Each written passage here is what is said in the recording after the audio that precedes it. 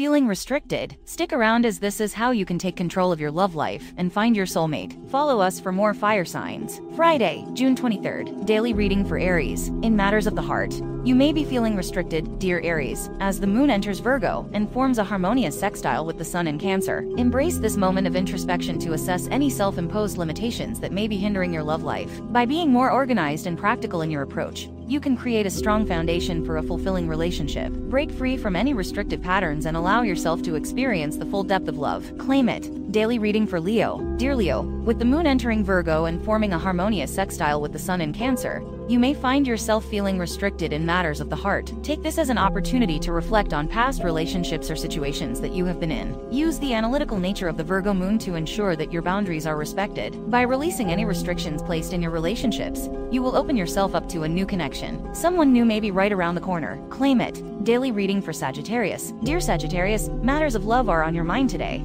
specifically how you can find deeper, more meaningful connections with others. It's time to reevaluate any limitations that are in your relationships. Are you changing yourself for your partner, or have you been guilty of doing so? Evaluate yourself and your behaviors, and you'll find the freedom to experience profound love and emotional fulfillment. Let yourself be open and honest. Don't hold back. Claim it. Today's fire affirmation I release my limitations and open myself to the energy of the universe. Tap twice to elevate your consciousness.